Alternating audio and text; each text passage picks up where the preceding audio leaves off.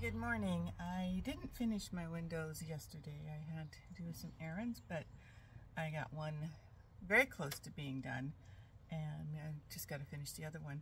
And I'll show you what I came up with. So I'm going to turn the camera around here. Just a simple window. Hinges at the top, latches at the bottom to keep the critters out, and then it'll just swing open up There'll be hardware cloth behind it, and then uh, I still have to put the window trim around it. But that's it, just a simple window. Um, if you're building a tree house, a chicken coop, or whatever, storage shed, you don't need to buy windows. You can make your own. Very simple.